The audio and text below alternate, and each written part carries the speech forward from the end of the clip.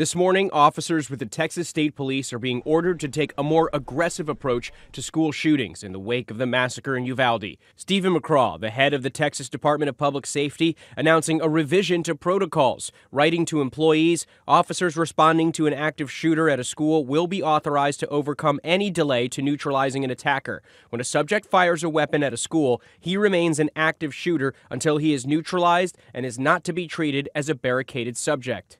McCraw has blamed Uvalde School Police Chief Pete Arredondo for the delayed response to May's shooting at Robb Elementary. Officers waited 77 minutes before taking down the shooter.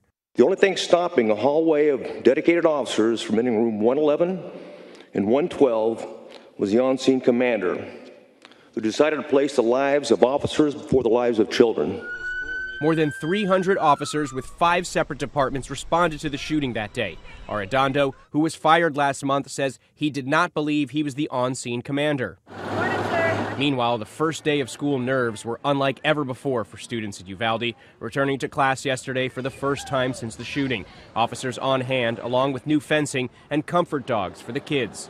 I am nervous, very nervous. Gemma Lopez was up before the sun, determined to start fifth grade. Just three and a half months ago, she was in the room next door to where the gunman carried out his bloody rampage. I just love school so much. Even if that happened, I would still go to school. I know it's not going to happen again. Felix and Kimberly Rubio lost their 10 year old daughter Lexi, but chose to send their older kids back to Uvalde schools. I think they really needed the routine. None of the schools are safe to me, so we just had to pick one.